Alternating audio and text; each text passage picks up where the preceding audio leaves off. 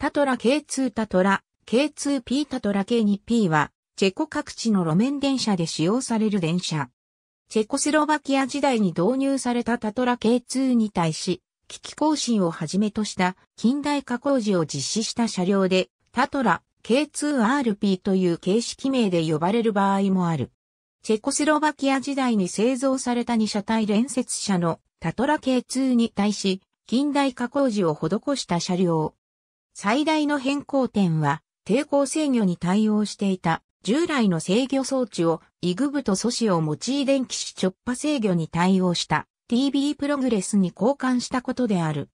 この機器は電力が回収可能な回生ブレーキにも対応しており、電力消費量の削減やメンテナンスの簡素化が図られている。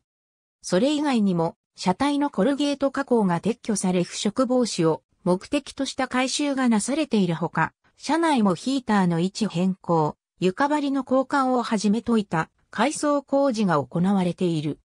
運転室からの速度制御についても足踏みペダルから手動コントローラに変更されているほか、一部車両については冷房装置が設置されている。